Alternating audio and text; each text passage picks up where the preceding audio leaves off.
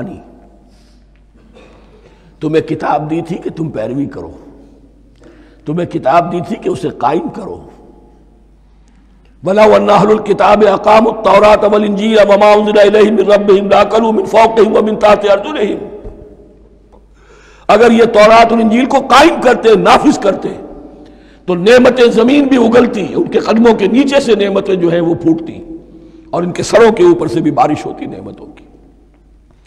लेकिन अगर तुमने उसको छोड़कर अपनी ख्वाहिशात, अपने नजरियात, अपने ख्याल अपना तमर्रुद, अपनी सरकशी, अपनी हाकमियत, अपनी मसलहतें, अपनी अक्ल, इसको बाला तर किया तो फिर जो कौम अल्लाह के कानून की, अल्लाह की हिदायत की, अल्लाह की किताब की अमीन होती है दुनिया में, वो अल्लाह की रिप्रेजेंटेटिव होती है, नुमाइंदा होती है।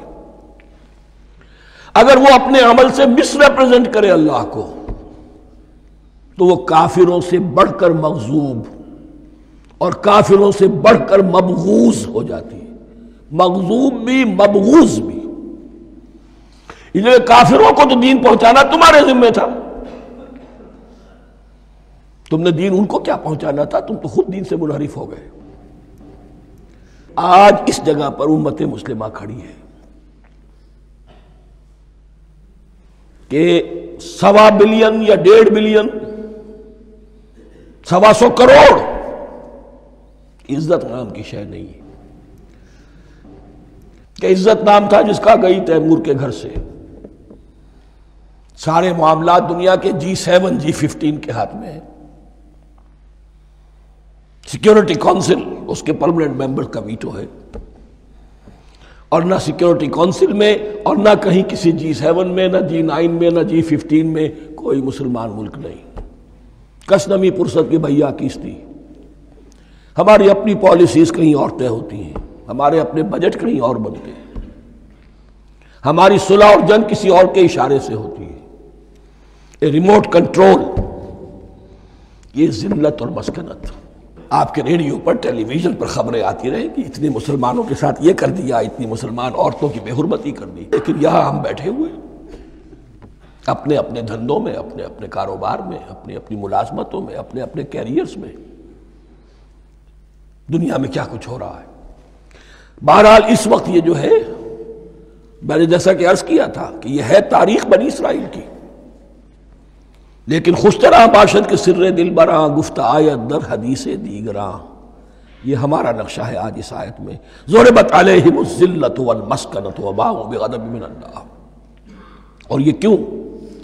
जाल कब कानू यकफरून बे आयातिल्लाह ये इसलिए कि वह अल्लाह की आयात का इनकार करते रहे।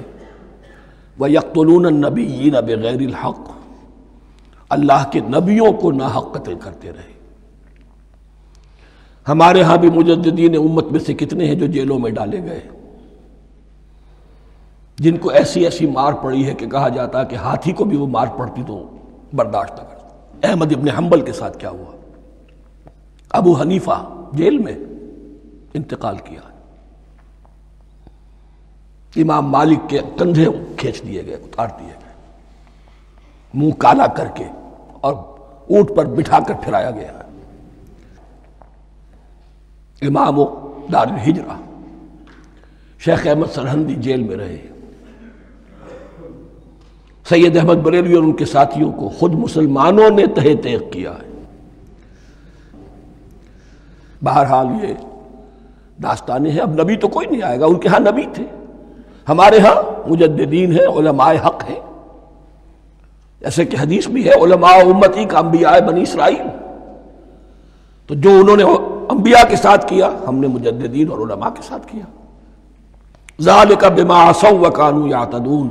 और यह हुआ उनकी नाफरमानियों की वजह से और हद से तजावुज करने की वजह से। अल्लाह ताला तो जालिम नहीं अल्लाह ने तो ऊँचा मकाम दिया था। हमें भी खैर उम्मत करार दिया। कुन तुम खैर उम्मत खुरजत लिन्नास। तामरून बिल मारूफ वतनकर व तुमिन बिल्ला अब अगर हमने वो अपना मिशन छोड़ दिया तो जिल्लत और मस्कनत, वो हमारा मुकद्दर बन गया। अल्लाह का कानून और अल्लाह का आदल बेलाग है। वो फ्रॉम उम्मा टू उम्मा चेंज नहीं होता। सुन्नतुल्लाह जो है, लन तजद सुन्नत तहवीला, व लन तजद सुन्नत तब्दीला। अल्लाह की सुन्नत बदलती नहीं। बनी इसराइल का जो हशर हुआ, आज वो हमारा हो रहा है।